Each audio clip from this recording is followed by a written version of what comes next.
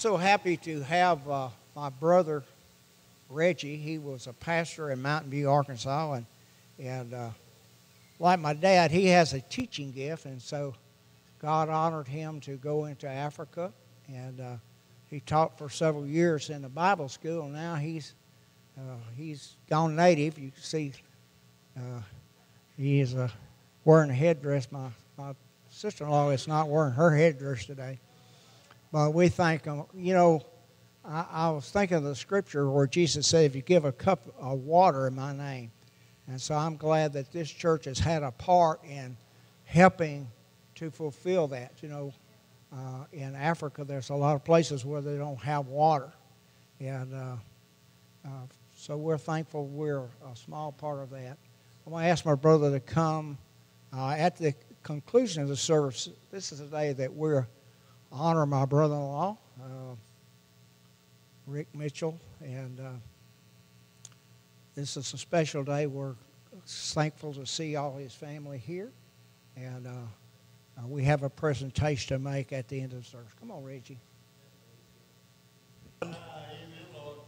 I believe that He is the only way of salvation. And uh, I believe that His blood washes whiter than snow. Hallelujah. I want to go into the book of Acts this morning. I, I want to thank everyone. Church looks good. So wonderful to see the fruit uh, of labor. I was reading, I forgot it was 1983. Somewhere around that time, my brother and I came to the old church preaching a meeting together when the Lord spoke to him. That's before the Lord blessed me with my wife, I think we were at that meeting. And uh, we have, uh, there were six of us in our family. My oldest sister's back there. I have a brother that works uh, in a church, uh, North Point, uh, on uh, Airline Drive. He works there. I have a, there were six of us, but the Lord chose my brother Danny and I, called us into the ministry. And uh, I questioned the Lord's wisdom. Uh, when He called me into the ministry, when He uh, sent me over to Africa, I thought that I was the last person that needed to go over there. I thought they had enough problems without me. But I guess the Lord saw differently. And uh, the Lord sent me over there to, to teach them. Uh, I pastored, I've been, uh, August of this year, I started my 45th year of ministry. Uh, been, been preaching the gospel of Jesus Christ and uh, always been a student of the Bible. And the Lord sent me over and said, just go and teach them what I've taught you. Go teach them faith. Go teach them the things of God. And so we've been diligent to do that. And then uh, a few years ago, the Lord pushed us out into a ministry of feeding hungry people there. Uh, I mean, kids are connected to us. Of all things, we had a little boy about at the time he was about seven or eight years old that uh, pushed us out into the ministry of feeding the hungry. And uh, we got a check in the mail one day for $1,007.57 and a letter that uh, went with it uh, from one of our partners. And she's, uh, boys homeschooled. Mother was reading, they were reading this, our newsletter together. And we were talking about how COVID had had hurt Africa and touched this little boy. He went to his room, got his piggy bank, dumped out $3.57.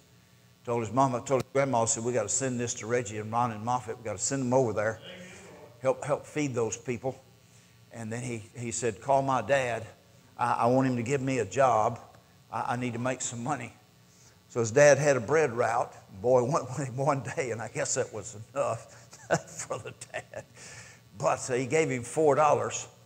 So we had this check for $1,007.57. This lady had gotten some money, one of the COVID checks, and she gave a tithe and uh, offering to her church, gave the rest to us, said, feed, feed, feed the people. We've told you this before, but I'll tell you again. So we, uh, we've been feeding people ever since that time, and uh, we have fed hundreds of people. Well, I can't say hundreds. We fed hundreds my, my secretary keeps up with all this. And so uh, I, I don't know. You, you want to talk to the man in charge or the woman that knows what's going on? She talked to her. But uh, the, the Lord has uh, laid it on my wife's heart for this water well. We were, we were uh, talking to this lady. You saw her. She was uh, the, the, the only white lady in that little uh, video that was there. And she didn't ask us for it. The Lord just put it on her heart to, to, to, to do this water well. And so it's just been miraculous what God has done. Uh, and, and we thank everyone and know the blessings of God will be on you for all that you do. Now, in the book of Acts, uh, you know, the book of Acts is important to us, not just for historical sense, but it's, but we see two churches that, are, that we, we could study from the book of Acts. First church we see is the church at Jerusalem.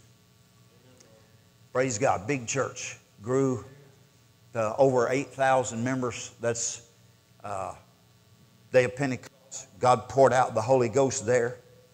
And, and it just poured out in great, great thundering power, spilled out into the streets, and uh, had 3,000. The first message that Peter ever preached this is that which was spoken by the prophet Joel. And so uh, 3,000 were saved that way, baptized, brought into the church. Another time, there were 5,000 more added, and God added to people every day. Praise God. Church of Jerusalem was a mighty church, had mighty signs and wonders and miracles. Their pastor would walk down the street, and just the aura that was around him, his shadow would touch people, would be healed. God gave great witness to those people. Great persecution followed the witness of God. One of the greatest things that could be said about the church at Jerusalem is its own, the, the, the enemies of the church told him this, said, you have filled Jerusalem with your doctrine. I never had anybody say that about churches I pastored. They never said, well, you, you have filled this city with your doctrine. Praise God. So they did a wonderful job. See, Jesus said Acts chapter 1, he said that, you know, we need to go to Jerusalem, Judea, Samaria, and unto the uttermost parts of the world. Jerusalem was very good at going to their own home city. And you know, this church has done a wonderful job reaching out to the community that is around it. But there was a problem there. They had all 12 of the apostles were there at that church. And, and they had great blessing there.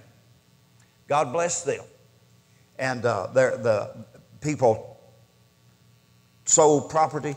They brought all kinds of things, laid offerings down at the apostles' feet, and, and they just had this wonderful reservoir of money.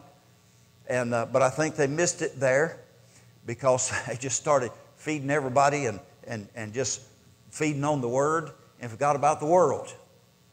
And I think as we look there, it's, it seems to be, to me, uh, kind of strange that here was the enemy of the church, a man named Saul of Tarsus. Amen, he was ready to travel. But the apostles weren't. They were content right there. Now, they had a lot of, lot of people and they needed training, but I don't know that they needed all 12 of them. They needed to branch out. But uh, God took this man named Saul, met him on the road to Damascus, and, and uh, he's an amazing man.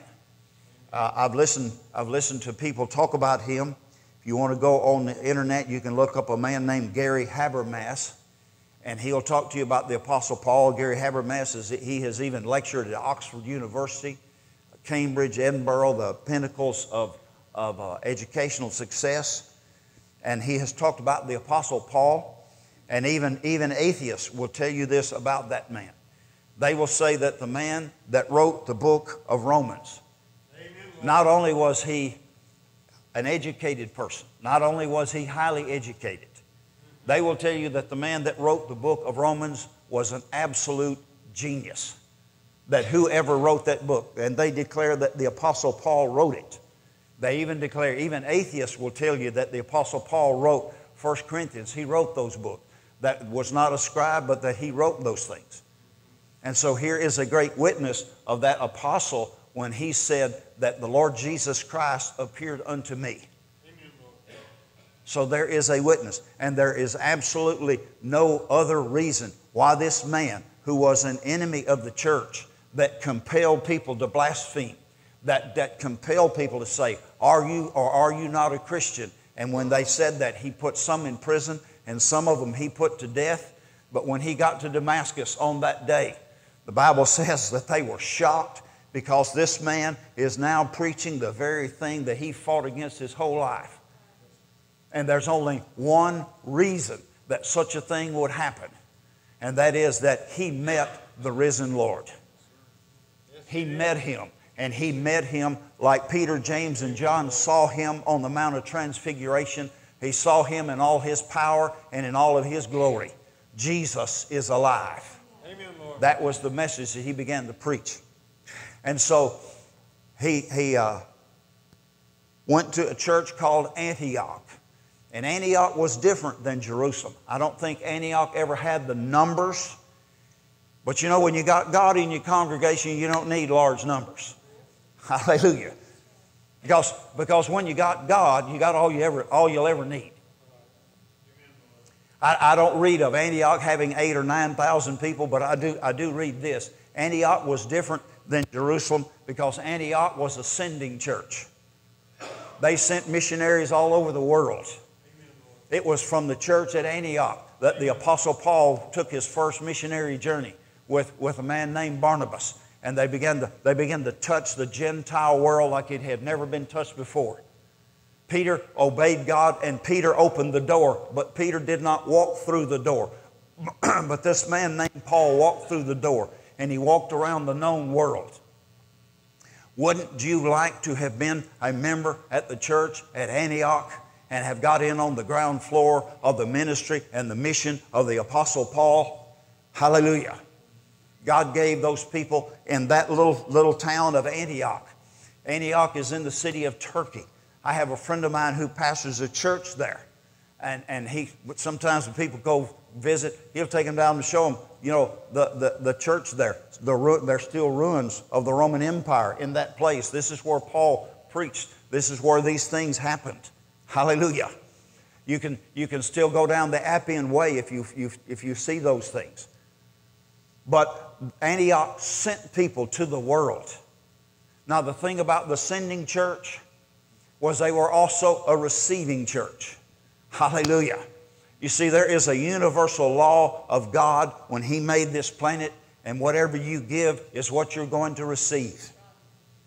So, uh, you know, we, we use that scripture out of uh, Luke, uh, you know, give and it shall be given unto you, and good measure pressed down. And sometimes people say, well, they, y'all use that for money, but he, he doesn't mention money there.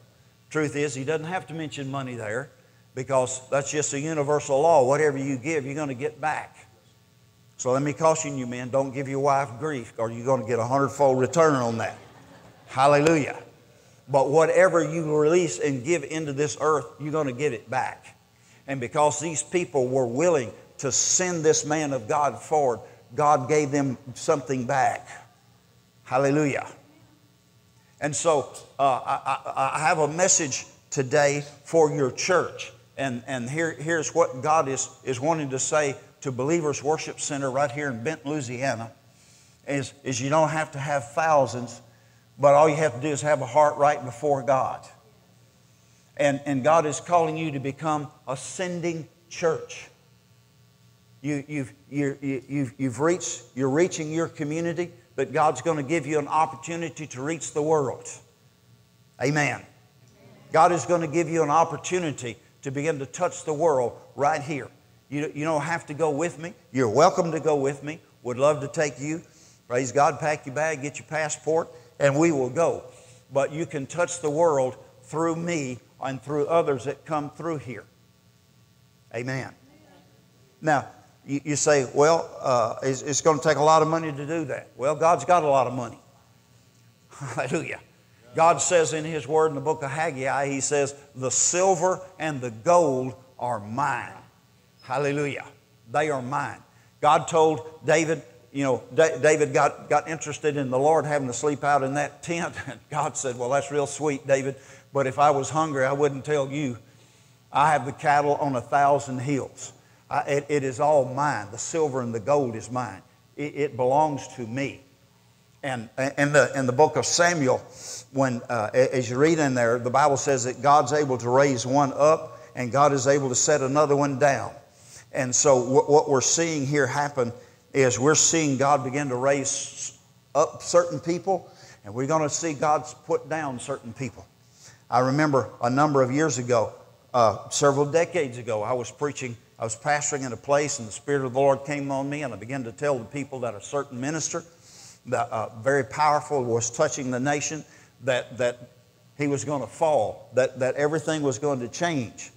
And of course, everybody came up after church to ask me about that, but I said, well, let's just see if I heard from God or that was just out of the foolishness of my heart or my head or other. But we heard from God because it was not too long after that that it all just fell apart. God does raise people up, and God does transfer wealth from one place to another. Now, uh, I, I lived up in Arkansas, a little old town of 2,500 people called Mountain View. And if you ever want to take a nice vacation, that's a place to go. It's just a wonderful place. Enjoyed living there. But, uh, you know, some people can't live in a big city like, like that. It's just too much. That, that suburban living is too much. They got to go. They got to move out to the suburbs. Places like Oney, Arkansas, population 100. Or, or even, you know, a little old town called Timbo, Arkansas, which is, which is about 30 miles from nowhere. And I had a friend of mine that pastored that church in Timbo, Arkansas. Now, is this going to squeal if I walk around the church? No, you go. And, and, and he pastored in, in Timbo, Arkansas. Uh, Brother David Campbell still is a friend of mine. And he pastored there. His father pastored there. His father was an Assemblies of God minister that went to, to, went to Timbo, Arkansas, told, told his denominational leaders that God was sending him to that church and uh, or was sending him there to build a church. And they said, No, you, you can't build a church there. They said the brightest and best we've ever had tried and they failed, and if they didn't make it, there's no way you could make it. But when they found out that he was going to go, whether they blessed him or not, they let him go. And, but here's what they told him They said, David, if, if, you, if you do happen to build something up there, this is what they told him. Man said this out of his own mouth. If you do build something there, don't drive the nails all the way in so that when you fail, you can pull the nails out with a crowbar and at least take the lumber with you somewhere else. So, with, with inspiration and encouragement like that, he had to go. And he went down there to build a church, uh, a Pentecostal, tongue talking church in, in the middle of that country. And he had a man that owned a store that said that you know uh, uh, you know he was he was talking to him and he said I'll sell you I'll sell you this property over here to you know to build a church. So he was going to build a church. The man called him back here a few days later and said I can't sell you this property because the, the people of the community said if you sell that preacher that church down there we will never buy from your store again. We'll drive we don't care if we have to drive 50 miles away but we will, if you let him in here we won't, we won't do business with you. So he said, I can't sell you the property. But later that day, Brother Campbell's dad got a call from a man said, I've got a little land down here by, by, out, out in this area. I'll sell it to you. I can't do nothing with it anyway. People down there drinking whiskey and gambling all the time anyway. So Brother Campbell said, well, well, that's a great place to build a church right down there where all the sinners are. I'm, you know, no, you won't have to look for them. So he went and he built a church. But over time, brother, uh, he passed away. Brother David took the church over. David was his, his son. And, and David made, uh, uh, you know, he, he got some property. And I was preaching at his church. And he, he told me that story. And uh, he, he, he built a nice sanctuary and uh, was, was talking to him because he, he began to tell me what he was doing for world missions. And I said, out here in the middle of nowhere, he, he told me how many hundreds of thousands of dollars they had given to world missions. I was there preaching one night. My wife wasn't there with me that particular time. But there were about 30 something people in the church, and I was telling them about the first time we went, how that, you know, I didn't have anything. You know, we, I had no money but you know, we were supposed to go. Had our tickets bought on credit, and we were supposed to go. And I told him about how that young man met us and, and handed us a check folded over and said, "I hope this helps." Well, uh, it was five thousand dollar check he handed me. I said, "Well, that's great." And and that that day I was preaching, and Brother Campbell got up and said, "Well, you know," uh, and I, I told him about another check I'd got for, and I said for a thousand, made six thousand. I said, "My wife and I lived off that that that first." The entire year we lived off that over there. But uh, he got up and said, Well, folks, we need to give this man, you know, I believe he said $5,000, so we're going to write him a check for 5000 He didn't have 30 people there. I said, Praise the Lord. Then one man said, Well, no, brother, brother, brother David, that's wrong. And I thought, Well, I knew he was going to show up.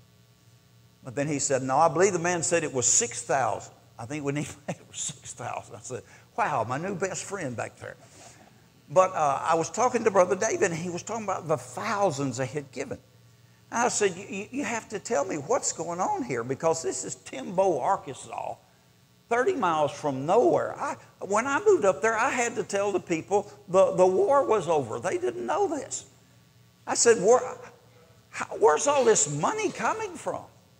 And he said, Well, let me tell you the story. He said, uh, I was, he said, I was, Brother David said, I was in the sanctuary just walking around praying. It's a good thing for preachers to do, isn't it? And he said, The Lord asked me a question. And he said, David, what are you doing for world missions? I said, Well, Lord, you know, you know, anytime I hear a missionary, we have them come in, take up an offering for them. And the Lord said, So you're, you're not doing anything. He said, Now, when the Lord tells you you're doing nothing, you don't argue with him. I said, Well, what do you want me to do?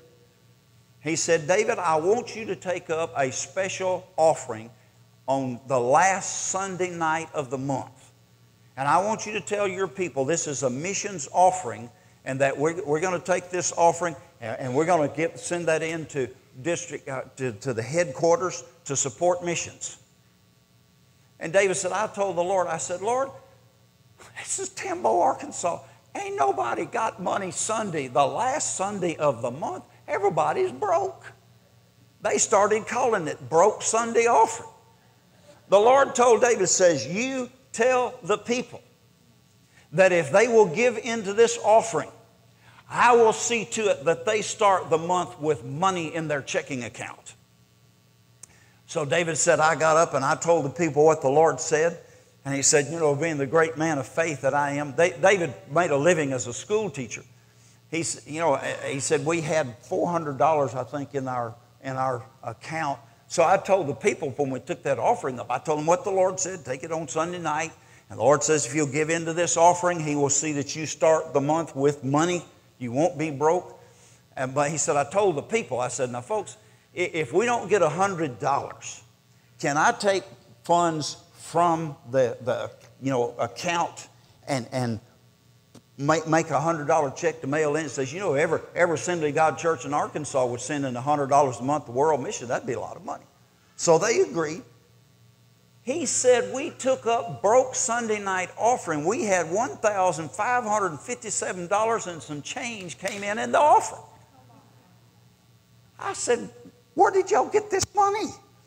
Well, somebody had sold cows, some man had sold timber, some guy got a refund check from his insurance. And he said, it just started. He said, we started getting these offerings. And he said, it's just amazing what God was doing. So he said, uh, I, you know, district council was coming up, and he said, I was praying and asking God, what do you want us to do? You know, there's going to be four missionaries there. What do you want us to do?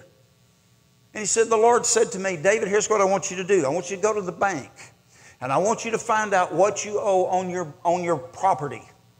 And if you will give a tenth of that to these missionaries, I'll pay your building off.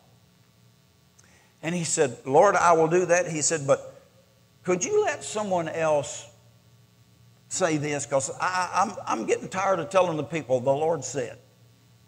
So he said, I called a little meeting Sunday, you know, before district council. I said, now, folks, there's going to be four missionaries at this district council. Uh, what do we want to do for them? And he said, The last person on earth that you would ever think would say this stood up and said, Well, brother, brother David, I think we ought to, ought to give a tithe off what we owe against the church, give it to them, and just believe God pay the building off. So I said, okay, that's what we'll do. Now it was like 20, it wasn't a, it was $23,000. It wasn't like bazillions of dollars, but like 23,000, that's still a lot of money. And it came out a little less than 600 for each of these missions. And he said, in less than six weeks' time, the building was completely paid off. And he said, I went into my friend, you know, I, he said, president of the bank, you know, just, just before we moved up there, there was only one bank. And then word got out, you know, and then all these other banks came. But uh, anyway, he said, president of the bank was my friend. I went in and told him we wanted to get our mortgage certificate. We're going to pay it off and have a burning of the certificate. And he said, Well, David, don't do that. He said, just, you know, just, just keep the mortgage. He said, you know, the certificate and all. Borrow $200 against it. Just because if you ever need to borrow money for, for, for us to go out there and, and you know, do, do this paper and the property's worth so much, that's going to cost you money. Just, you already got it, just keep it. And he said, I guess my mouth, started prophesying because I told him, I said, no, we're never going to borrow any money ever again. And he said, in the last 10 years, we have given a million one hundred and fifty-seven thousand six hundred and some odd dollars to world missions. And at that point, I had to ask him, where are y'all getting this money? This is Timbo, Arkansas, 30 miles from the middle of nowhere. And he says, I don't know where it comes in. He said, people, people call me all the time. He said, in fact, I got two checks in my office now, $50,000 each. Two doctors called me up and said, Are you the missionary man? He said, Well, I guess I am. Can I help you? He said, Well, I'm Dr. So and so. I'm sending you a check for $50,000. You know, the missionaries do what you want to with it. He said, It just, it just pours in like this. Hallelujah. Now, what I'm here to tell this church is God is about to do a miracle in your midst. God is about to open the windows of heaven and pour you out a blessing that there will not be room enough to receive it. You're going to spread it to the world. God, tell, I know this is my brother, but you listen to me because I, I do stand in the office of the prophet. And as God wills, I have to speak a word over people. But God said, I'm going to make you rich. I'm going to make this church rich. I'm going to, I'm going to, there are people who I raised up that have not done what I have told them to do with the money. So I'm taking the money from them and I'm going to bring it here. And, and I'm going to place it in the, the hands of people that will do with the money what I want them to do. Because where, where the Lord is coming soon, and that's not an escape theology, that's a hustle and, and work fast theology. So I'm going to bring I'm going to bring the wealth of this world to you. Now, some of it is going to come through the people who are sitting here in, this, in these chairs of this, uh, of this church right now. God's going to do things in your life that you never thought possible. I, I heard R.W. Schambach told a story about a guy that went out and, and was just driving by a, a, a used car lot. And God told him, pull in there and go buy that white truck. And he was told the Lord, I don't need a truck. But the Lord told him, buy the truck. Make a long story short, the Lord told him, Look under the air breather of the truck. And when he did, there was a sack in there full of $100 bills. Somebody was using that as his hiding spot. I, I, I met a man down in New Orleans, was talking about that, you know, down there we have battered women. And so we, uh, sometimes people donate these homes and, and, and we, we get these properties. And he said, We renovate some of these. And he said, we had this one piece of property. I was thinking about renovating it with five gallons of gas and a match, was what I thought this thing was worth. But my wife said no, so we compromised and did what my wife said. And he said, he said, it was right on a waterway, and there was an old, old boathouse out there. And the end of the money, all the money we had, I told this guy, take this, you know, these little bitty toy bulldozer things, you know, little bitty thing. I said, tear that old house down, pile it up, and let's burn that thing. And he says, about two hours later, that man calls me and says, Pastor, you're not going to believe this. He said, Try me. He said, You, you just need to come here. You, you remember years ago, these old, some of you women might remember these gallon Skippy, no, Peter Pan peanut cans That house had five or six of those things in it. The man said, I almost didn't see it. I ran over one, it broke open and threw it out there. Inside that man, this man had wads of $100 bills wrapped up in a plastic trash bag, just, just full of that. There were thousands and thousands of dollars. Five or six of those cans full of $100 bills. Hallelujah. Waiting to be handed to the man of God.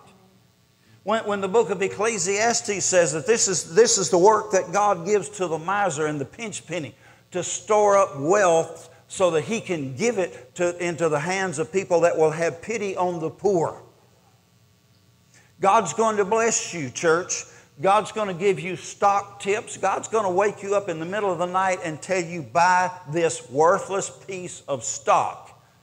And when he tells you that, you better buy that worthless piece of stock because it's not going to be worthless for very long. God might, I, I, don't know how God is going to do it, but he is fixing to bring hundreds upon hundreds of thousands of dollars into the hands of the, the ministry of this church. Now, you must be faithful over it. You must be willing to give what God tells you to give. I have a friend of mine, Mark Hankins. His father, uh, B.B. Uh, Hankins was in a building program, and God had prospered a businessman in his church, and through, through the hand of God, he had brought a million dollars into his hands. And, and, and he was praying, and he was asking the, uh, asking the Lord, How much do you want to give me to the building fund? They were in a big building program, and the Lord said, Give it all. And the man said, Well, Lord, that's all I've got. That's all I made. Lord said, You want, you want to make any more? So he, he wrote the check out. Mark said, I was standing there when the man came in and handed my dad that check for a million dollars for, for the building program that they were in. Miracles, miracles of God. God is, God is going to work miracles. God is going to do miracles. And God's going to bless you like, like, you never, like, like you never thought you'd ever be blessed in your life. I'm here to tell you, we're, we're going to see oil, oil and gas return. We're, we're going to see property values shoot through the roof. You're going to see things begin to happen. Good. Yeah, hallelujah. I got one man says he receives that. The rest of you, will you receive that? And would you be willing to obey God with what He puts in your hands? Hallelujah. The wealth of, of the wicked is laid up for the just. Uh, people talk about Solomon built the temple. Well, he actually constructed it, but it was his father David that had it all waiting on him. Tons of gold, tons of silver, the cedars of Lebanon, all the brass and iron, all the metal he would ever need. He had it all waiting on him. all, he, all Solomon had to do when, when he stepped in there was, was get the plan and build it. When, when God took Moses out of Egypt, he transferred the wealth of Egypt into the hands of those people for the express purpose of building a temple that God could come and tabernacle with his people. And what was left over, Moses had to tell the people, stop bringing the money in. We have more than enough. Don't bring any more. There is a blessing which comes upon you, folks. God is, God is about to shake the finances of this nation like never before. There, there, there are people that are, that are uh, and, and uh, Pastor, Brother Daniel, I want you to understand, just like the prophet Elijah, Elisha, and uh, Naaman had, had a strange relationship. God will bring to you relationships with, with I won't say strange people, but you would have never thought in a, in a hundred years God would have ever brought me across that person or that person get interested in what we were doing. Amen. But this is what God is going, this is what God's going to do, church. Hallelujah. I want you to be, I want you to be ready for it.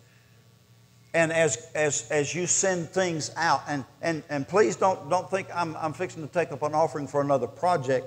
uh, praise God for that. But, but as, as things go out, it is going to flow back in. And God is going to bring from, from to you amazing gifts of God. And God will bring to you people from the other side of the world. Amen. I, I know in my own life, my ministry started as, as a mission and as feeding the hungry. It all started when Dr. Lester Sumrall, who was a missionary, and that uh, God told him that he was putting him into this ministry. And he had a program of Feed the Hungry, and he asked people just fast on Fridays from noon, from breakfast until noon, and the money you would have spent, just, just mail that in, give it to your church, mail it in, and we're going to feed the hungry with it. And that's where I started. I started just, just five or ten dollars into that particular envelope. And then and here we are. God has, has years and years later, here we are feeding the hungry in, in these countries also. So you never, you never despise the days of small beginnings.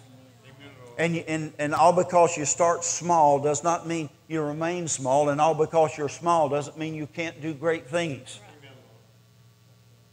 Hallelujah.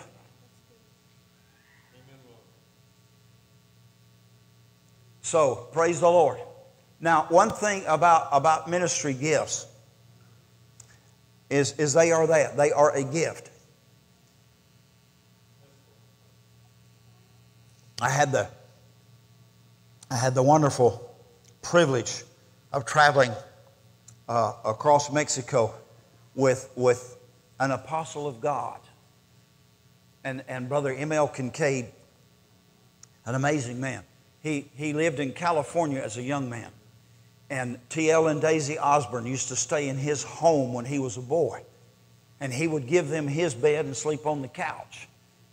And, and he told me and, and uh, that when, he, uh, Brother Kincaid has a ministry in Mexico and in Guatemala.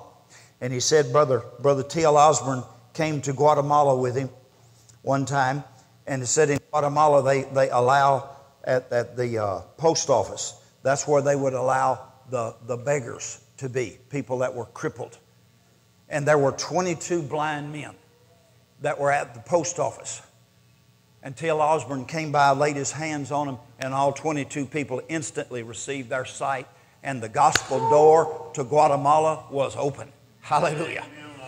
And Brother Kincaid said, when, when your friend Lester Sumrall came with that big ship full of food, it really blew the doors wide open to the Pentecostal message of Jesus Christ. Now, the thing about it is, that was not the only place those miracles happened. I called Brother, Kin, Brother Kincaid. Uh, I was traveling with him, and it was so amazing just listening to this man of God. Went to, he said uh, he went to Mexico in 1960, which, uh, what's that, 60, 63 years ago.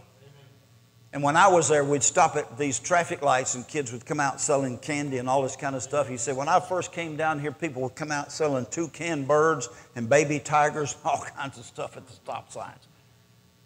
And he said, he, he, just began to talk as we traveled down. He said, now, he said, Brother Moffett, right here, he said, this hardware store, he says, I was coming out of this hardware store for church we built about 30 miles down the road, and I was coming out here, and a woman came up because and said missionary man because back in 1960 if you was a white man in that part of mexico you was a missionary and so uh, she, she said missionary man would you pray for my son and her son was blind he said well i put the stuff in the back of my truck wiped my hands and just laid hands on him prayed a simple prayer god opened that boy's eyes that woman went to screaming and praising god people began running from everywhere wanting to know what all the screaming was about and he said I, I, I just let the tailgate of my truck down, got up in the back of my truck, and started preaching Jesus to them. Got people saved. He said, I built a church, got a thousand people in it now. We'll see it in just a few minutes, but right around the corner here. And he has, he has built more than 200, but uh, uh 300 churches he has built there. And most of them were by, by miracles of God that took place. But see, the miracles there are going to come here also. Last, last time I, uh, uh, I talked to uh, Ken, Brother Kincaid not too long ago, he's in his mid 80s, and he was out in California. And he said, You know, strangest meeting I was ever in in my life. he said, we was out there preaching, and he said, you know, uh, this, he said, this girl came in. He said, I've never seen this before, very strange. She had a real little short pair of cutoffs and a, and a brassiere. all she had on, nothing else. And she cried the whole sermon. But she, she was raised by atheists and uh, was, you know, was just at her wits' end, thought about committing suicide, but she remembered her parents told her, well, you know, they're crazy Christian people, but they're nice. So she said she just came down here. And, and God gloriously saved her, filled her with the Holy Ghost. He said, but Brother Moffett, also while I was there, for the 26th time in my life, I laid hands on a blind person, and God allowed me to see him perform a miracle by opening their blinded eyes. Hallelujah. See, when you send things out, it always comes back in. Signs and wonders and miracles, that, and, and it brings deposits, gifts of the Holy Ghost. Now, let me give you a scripture. Uh, get my glasses on, praise God. Are you still here? you gone home? We're, going to be through in just a moment. Uh, but I want to show you something here in the Bible. If, if uh, I can get my pages to turn in the book of Hebrews, Hebrews chapter 2 says in verse 4 that God also bearing them witness both with signs and wonders, and divers miracles, and gifts of the Holy Ghost. See, he lists some of them and then he just talks about gifts of the Holy Spirit. You know, the, the, the Lord blessed my wife with the gift of laying hands on people, uh, women that are barren, and they have children. And you know, it talks about over in the fifth chapter uh, of the book of Mark that, you know, when, when this woman touched Jesus, he felt power go out of him. And she can feel people take hold of that, and when they don't take hold of it, praise God. But see, that's gifts of the Holy Spirit. And I believe there's some children, some babies in this church that she helped. Well, amen.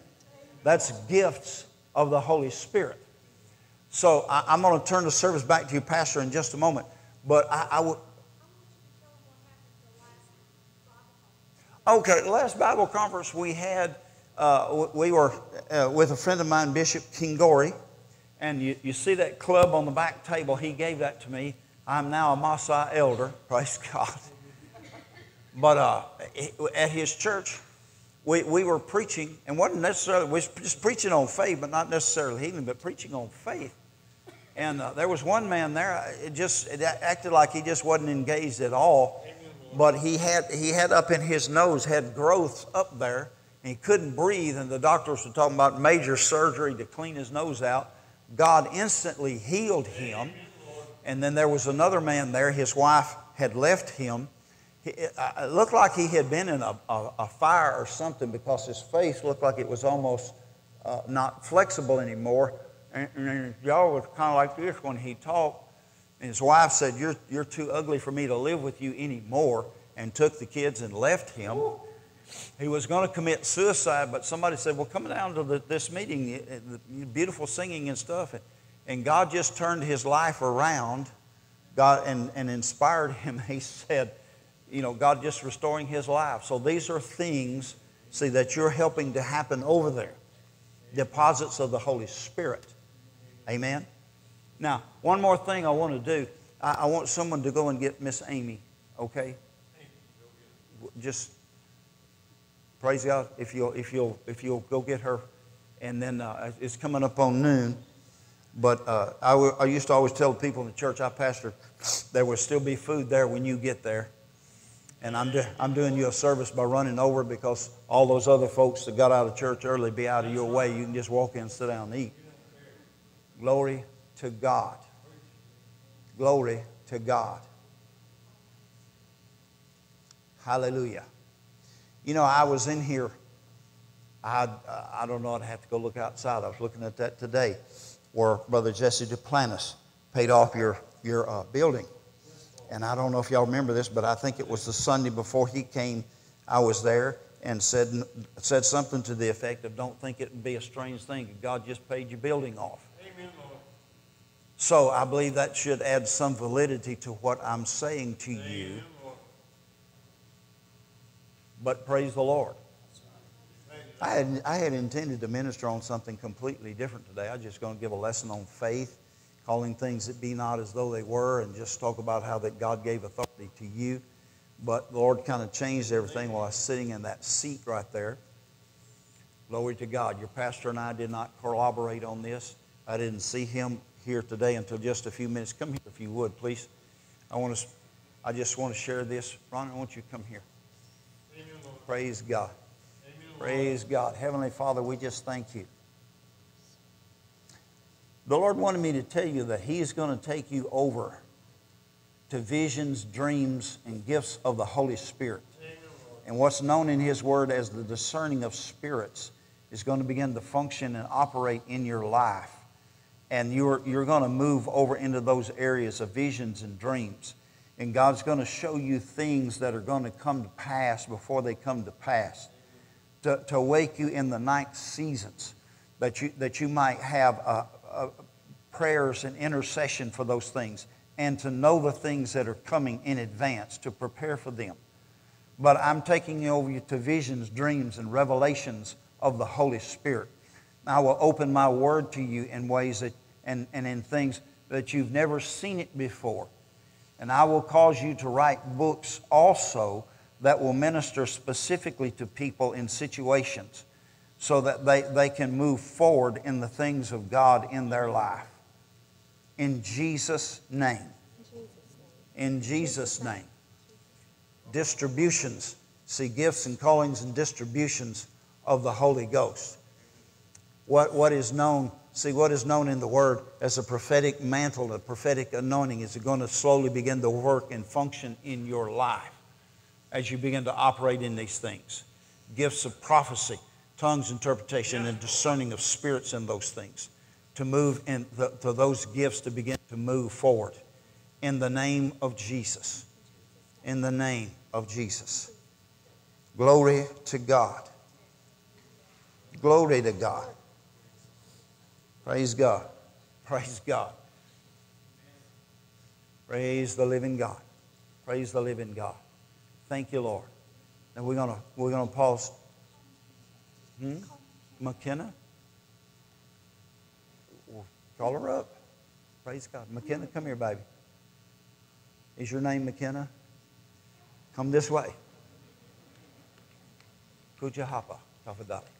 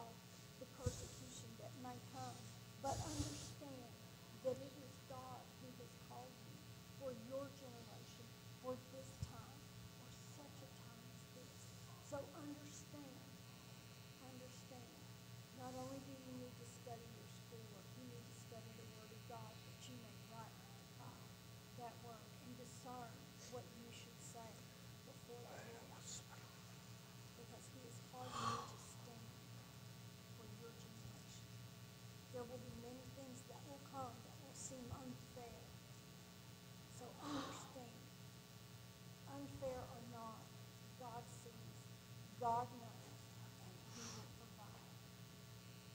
He loves you. Serving God is fun, but serving God is not always easy. Okay?